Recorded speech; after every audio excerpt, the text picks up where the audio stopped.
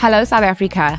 I'm Nekisha Lupke, 31 years old from Centurion, and your Mrs. South Africa finalist for 2023. I'm an educator and ESL coach, and I am passionate about personal development and mental health awareness. Make sure to follow my Mrs. South Africa journey.